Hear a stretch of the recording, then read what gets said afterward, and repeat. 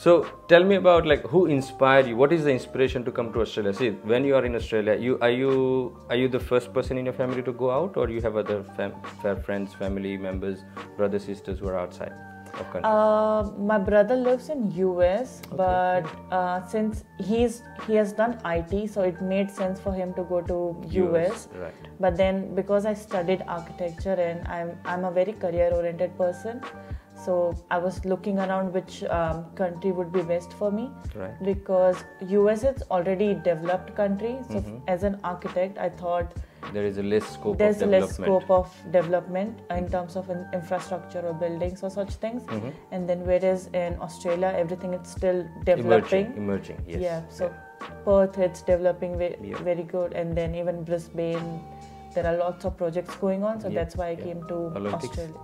Yes, Olympics. yeah. And we in Melbourne, we're building metro, metro trains, and Himali is being a part of it. Yeah. So we're proud of you. Thank you.